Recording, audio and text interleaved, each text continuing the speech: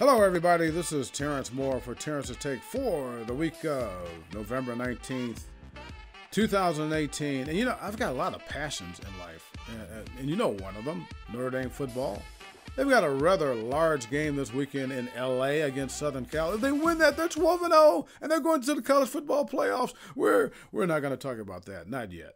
But we'll talk about one of my other passions, which is the JFK assassination. And I'm one of the original JFK assassination buff, probably the original JFK assassination buff, long before the movie by Oliver Stone, what, 20 years ago, whatever it was. I, have been a JFK assass- assassination buff since day one. Literally. He was killed on November 22nd, 1963, in Dallas, Texas, in Dealey Plaza. He was shot at 12:30 p.m. Eastern Time or Central Time. That's Dallas time. That's 1:30 Eastern Time. And I was born and raised in South Bend, Indiana, home of the University of Notre Dame. When all this happened, and uh, my parents worked, I'm eight years old. Okay, the parents were at work, and my two younger brothers and I were staying over at our grandmother's house during this time period. And to set this up, you got to remember back then during those times, everybody had one television set, if that, black and white. All right. You had three stations only: CBS, NBC, and ABC. And if you were, if you were a kid, you watched whatever was on television that the grown-ups had on. So every day at noon, my grandmother would watch As the World Turns. So we had to watch the same thing. We had no idea what was going on, but we were sitting sitting there watching this thing. And you got to remember too that during this time period, television was still very primitive when it came to bulletins. The only thing you would see is, is, a, is a black screen and the word bulletin. And up to this point, at eight years old, never had to see anything like that because it was a perfect world up to that point as far as I knew, and as far as anybody else knew, I mean, because except for World War II, uh, that happened way before I was born, uh, you know, everything was fine and dandy in the United States of America, so it seemed. So noon, as the world turned us on, and at 12.15, my grandmom, she would, like clockwork, would go to the kitchen and cook cornbread, her special cornbread around 12.15. Oh, man, I could still smell that cornbread right now. So she's cooking cornbread, and we're sitting there watching as the world turns, okay? And this bulletin comes across the screen, and I and I and I'm yelling, "Grandma, Grandma!" So she she comes down, you know, and she sees the screen. By that time, you know, there's nothing going on, and so I'm getting yelled at for yelling in the house. Hey, this is old school, all right? So just as she turns, something comes back on. Walter Cronkite, who was the announcer, the legendary announcer, he continues, and this is what it sounded like.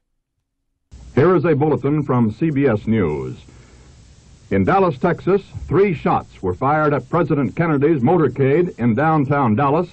The first reports say that President Kennedy has been seriously wounded by this shooting. More details just arrived. These details about the same as previously. President Kennedy shot today just as his motorcade left downtown Dallas. Mrs. Kennedy jumped up and grabbed Mr. Kennedy she called, Oh no, the motorcade sped on.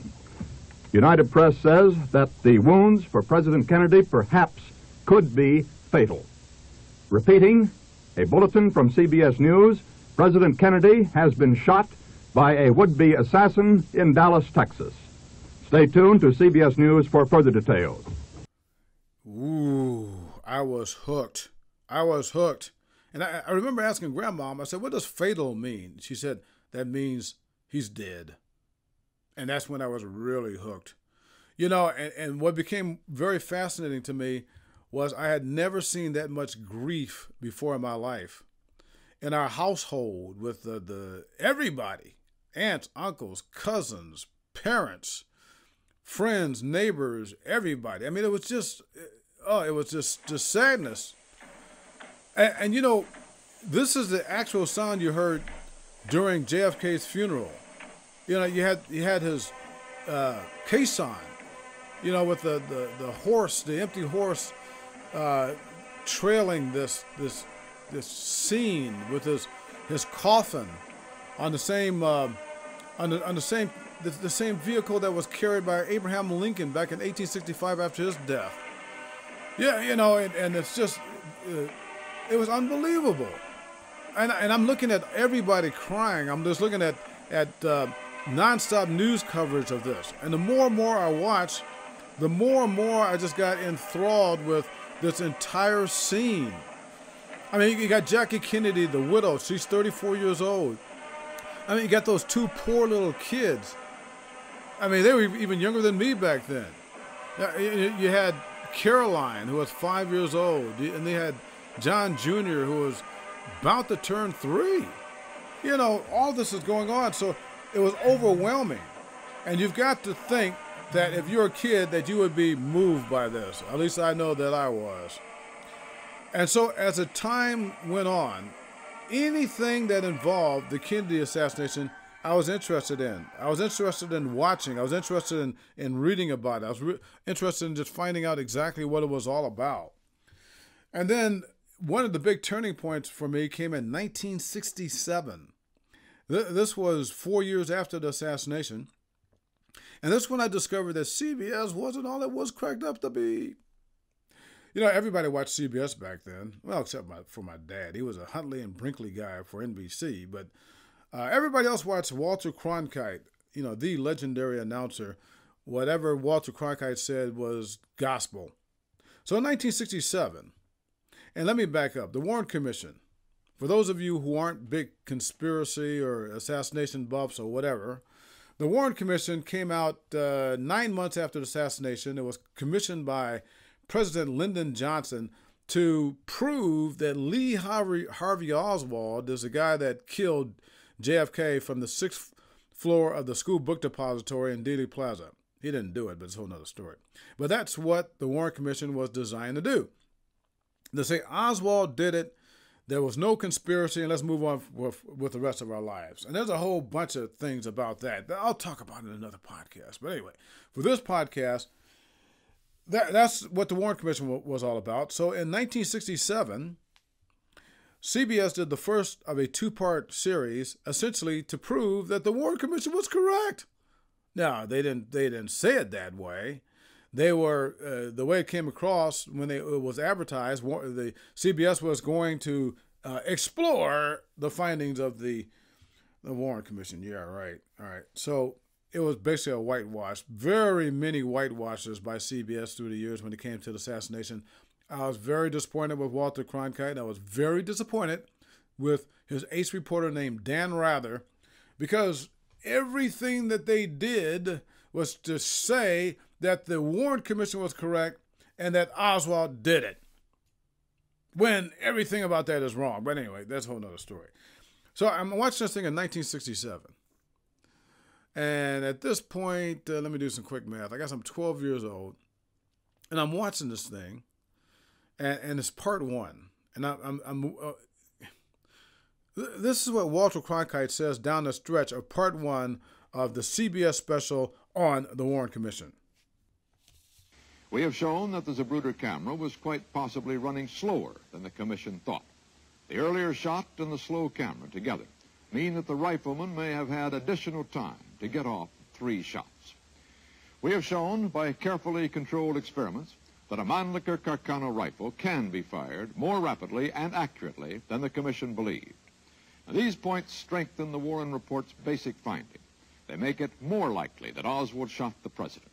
They significantly weaken a central contention of the critics, their contention that Oswald could not have done it because he did not have enough time to fire. It is now reasonable to assume that the first shot, fired through a tree, missed its mark, and that it was this shot that Governor Connally heard. The governor has insisted all along that he was not struck by the first shot. It now appears he was correct. Now we can answer all our secondary questions. Did Oswald own a rifle? He did. Did Oswald take a rifle to the book depository building? He did. Where was Oswald when the shots were fired? In the building, on the sixth floor. Was Oswald's rifle fired from the building? It was. How many shots were fired? Three. How fast could Oswald's rifle be fired? Fast enough. What was the time span of the shots? Seven or eight seconds. Did Lee Harvey Oswald shoot President Kennedy? CBS News concludes that he did. Yeah, well, Lee Harvey Oswald didn't do it, and there are a whole bunch of reasons why he didn't do it and why he couldn't have done it. I won't get into that in this particular podcast, but we got plenty of time with other podcasts. Yeah, you know, and, and I was I was obsessed at that point with this thing, and and, and the first book that I read of many, and, and you to see my bookshelf. It's just filled with. I got a section just filled with JFK assassination books, and and I'm the type of person who don't buy everything. I want things that are logical being the reporter that I am, it's got to make sense. I just don't buy that that yeah Martians are, are landing on top of the school book depository and firing shots. No, I'm not that. It it's got to make sense, and the books that I read make sense. But the first book I read on assassination that talked about a conspiracy was in 1973 by Peter Noyes, and it was called, Legacy of Doubts. I'm holding it in my hand right here. You know, it's a it's a paperback book. Legacy of Doubt, and I just love this particular book. It is yellowing right now, but it's 200 and 249 pages of joy. Legacy of Doubt. That really got me involved, okay? The other thing that happened was in 1973, this movie came out that totally just changed my life. It was called Executive Action. Burt uh, Lancaster was in it, and, and Will Geer. Remember the Wat the uh, the uh, uh, the Waltons, Grandpa. You know, but executive action basically pointed out how a conspiracy could have taken place, and and the premise of this movie was was that it was done by these right wing oil executives uh, from Dallas, Texas. Okay, since he was shot in Dallas, Texas, that that was their premise that he was shot by these rich oil guys whether you believe it or not, just the way that movie was done, it was so believable. The acting was great, the plot was great, the music was great. I was so moved by that. It came out on a Friday, of course, and I saw it as soon as it came to the movie theater. We lived in Milwaukee at the time. My father used to get transferred around since he was an AT&T supervisor. So I saw it that Friday, and then I saw it again that Saturday, then I saw it again that Sunday. I must have saw that movie about five or six times in a row. And a good thing that I did because it mysteriously disappeared at some point off the screen. Hmm, 1973. I have since found that movie and I've got it in my possession. It is a great movie to this day. Don't believe everything. I don't, you know, totally buy everything that's in it, but you know, it was just so plausible. Some of the things that it had in there. So I started reading other books about the assassination. And then I had the biggest thrill of my life up to that point. In uh, 1980, I get a job at the, I'm working at the Cincinnati Enquirer at the time. I graduated from Miami of Ohio in 1978, started working for the Cincinnati Enquirer for a couple of years. I get a job at the, at the San Francisco Examiner in 1980. So it's March of 1980, and I'm driving across country. And really, the straightest route from Cincinnati to San Francisco is to go uh, on the upper half through Colorado and what have you. But you know, I'm going to go through Dallas. I got to go through Dallas. This this is this is March of 1980. I have never been to Dallas in my life. This is 17 years after the assassination. I want to go through Dallas and I want to go through Dealey Plaza. Now, unfortunately, at the time, I didn't have time to really stop to take a look at what was going on. But to this day, I still feel the chill I got driving through Dealey Plaza for the first time. You know, Google, I want to tell you something, and I tell everybody this. Whenever you go to Google to, to Dealey Plaza, and since that first time I went through there in March of 1980, I've literally been there hundreds of times. I don't mean that uh, figuratively, I mean that literally. And there's not a time I go to Dealey Plaza where I don't get two sensations. And let, let me just tell you something. Even right now, Dealey Plaza looks virtually the same as it did on November 22nd, 1963 at 12:30 p.m. Central Time, 1:30 uh, Eastern Time. The only significant di- difference in, in, in Dealey Plaza from then and back then, now and then, was back then on the school book depository, there was a Hertz rental car sign that gave the time and the temperature, which is one of the reasons we know the exact time that the first shots took, took place. And also, there was, if you're looking out the sixth floor uh, window which is another reason why Oswald didn't do it. You look to your right, there was a Stemmons freeway sign that has since been removed and a tree that is no longer there. All right, a whole nother story about that. Anyway, so as soon as I went there through there the first time, it's like, this is a perfect place for triangular gunfire. All right. Next time I'm back at Dealey Plaza was three years later. And it was 19, well, actually, it was at the end of that year, 1980. And I'm covering the Oakland Raiders, and the Raiders were playing the Dallas Cowboys back then. And this is when I had some time to to, uh, to explore the grassy knoll, you know, where there uh, were other gunmen. At least that's what uh, I think, uh, and anybody with common sense knows that there had to be other gunmen there on the grassy knoll. Again, Google, and you'll see what I'm talking about. And I ran into this guy named named Penn Jones, and Penn Jones was one of the assassination ex- experts, and he gave me some uh, material that I still have. His newsletter on where what he thought happened back then. It's just great stuff. And all these steps, I was just getting more and more hooked on it. In 1983, I went back again to Dealey Plaza, started walking around, and just to cut to the quick, I've been to the sixth floor many times. That's where Oswald allegedly took the shots. And anybody that goes to the sixth floor, it's very apparent once you look out the one of those windows, they won't let you go to the exact corner where Oswald allegedly fired the shots. Now they would say, well, that's because we want to preserve it for well, yeah, but uh, the reason they don't want you to go there, there's a specific reason, in my opinion, which I'll give you in another podcast. But anyway, when you're when you're on that sixth floor, you see a lot of things that make you think, hmm, Oswald didn't do it. I, have been on the sixth floor many times. I've been up there at the museum now. Okay. I've been to 1026 North Beckley in Oak Cliff, which is a suburb of Dallas. That's where Oswald uh, rented a uh, room uh, two miles from the school book depository. I've been there. I, have I've been to the Texas Theater. That's where the uh, Dallas police ended up ended up catching Oswald after the assassination, and uh, this was uh, not far from uh, 10th Street and and Patton Street, where Officer J.D. Tippit was shot, allegedly by Lee Harvey Oswald, which couldn't have happened. That's a whole other story. I've been there. And certainly I've been to Dealey Plaza with the overpass, the railroad uh, uh, area where you can see the where the motorcade would be coming straight towards you, and a very convenient place for a gunman up there. And you can see where uh, somebody can with a high-powered rifle would have a direct line at shooting straight at JFK in that open convertible. I've been up there. I've been to the railroad tracks behind a grassy knoll where uh, more than a few assassins could have been. Okay, and needless to say, I've been all around the grassy knoll, and there were two grassy knolls, by the way. You probably don't know this. Oh yes, and the buildings around there. I, have been to the old Dallas uh, police headquarters.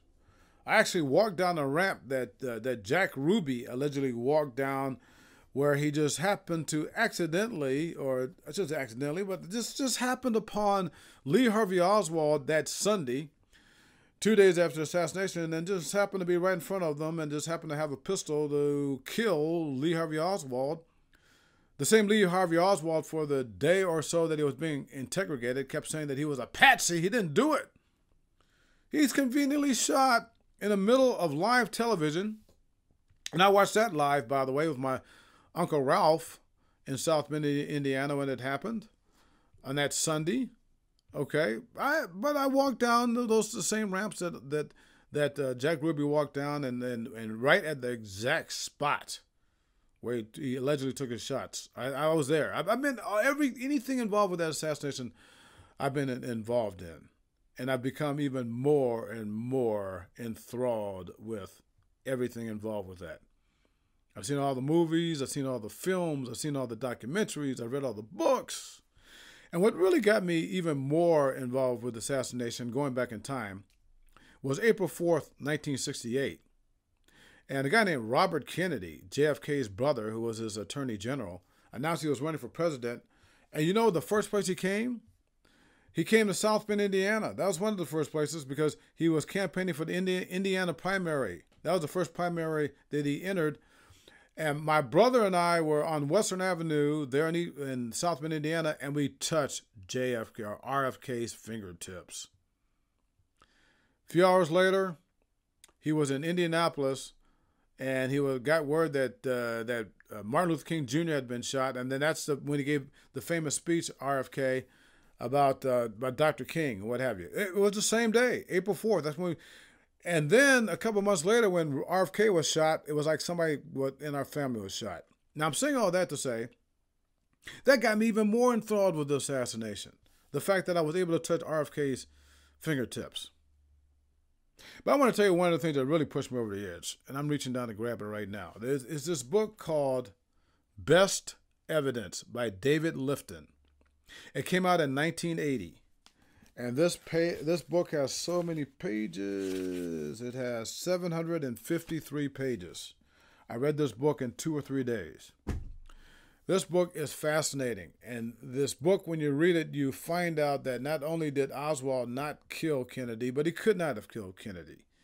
There's so many aspects to this book about how uh, the people at Parkland Hospital, when JFK arrived moments after assassination at Parkland Hospital in Dallas, they described the, wound, the wounds one way as if the shots came from behind, which would have uh, said that there was a conspiracy that was involved, the grassy knoll.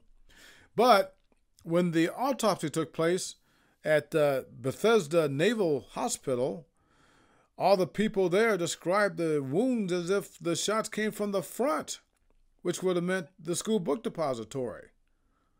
The, the people at Parkland said the body was put into one of those ceremonial caskets, the one that you see on television uh, when the when the casket and the, the the whole group arrived from Dallas and, and landed at Andrews Air Force Base. You see the casket. It's a ceremonial casket.